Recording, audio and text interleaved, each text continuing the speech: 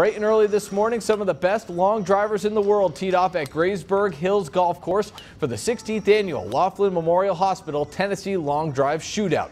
Among that group, Greeneville native and the winner of the shootout last year, Jeremy Easterly.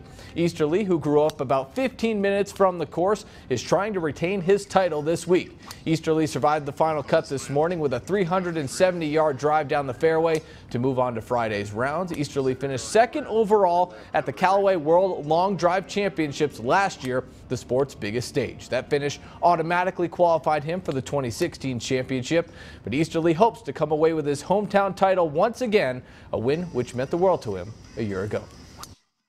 Coming back here in my hometown in front of a lot of people that I know, um, and then actually coming out and winning the tournament was it, it, left me speechless. This is good practice. I mean, it gets you ready for Worlds. I mean, probably at least half, if not three quarters of this field will be at Worlds. It gets you ready for that, for that one time whenever you're on the stage that you need to do what you need to do.